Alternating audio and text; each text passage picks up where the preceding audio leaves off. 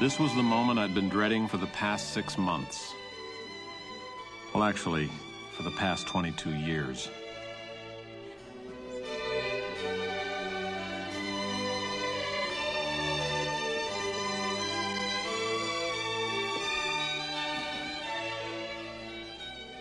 Hold on, Dad.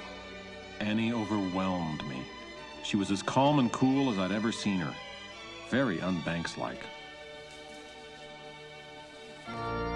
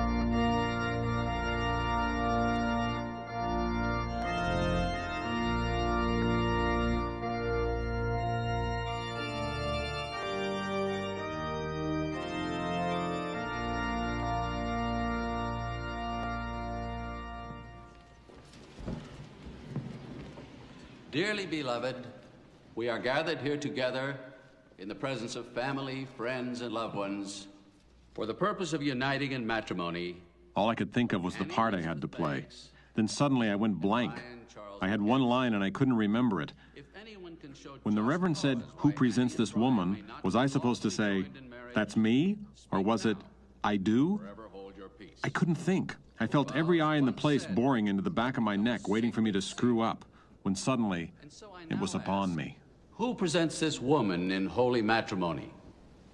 I do.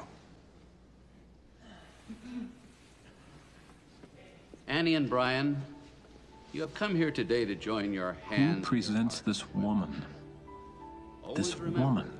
This vow of marriage is most solemn. But she's not a woman, she's just a kid, lightly, and she's leaving us. With a deep realization of its obligations and responsibilities. I realized at that moment that I was never going to come home again and see Annie at the top of the stairs.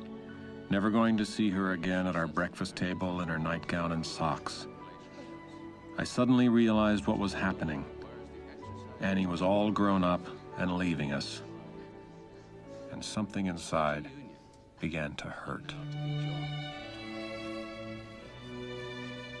I, Brian Mackenzie, I, Brian McKenzie. take thee, Annie Banks, take thee, Annie Banks, to be my wedded wife, to be my wedded wife, to love and to comfort from this day forward. to love and to comfort from this day forward. I, Annie Banks, I, Annie Banks, take thee, Brian McKenzie. take thee, Brian McKenzie. to be my lawful wedded husband, to be my lawful wedded husband, to love and to comfort from this day forward. to love and to comfort from this day forward. The ring, please.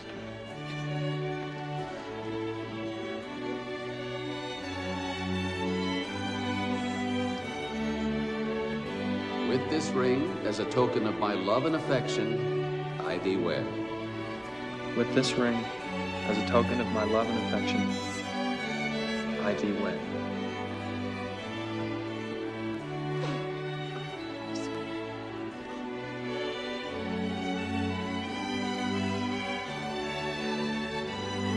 With this ring, as a token of my love and affection, I thee wed.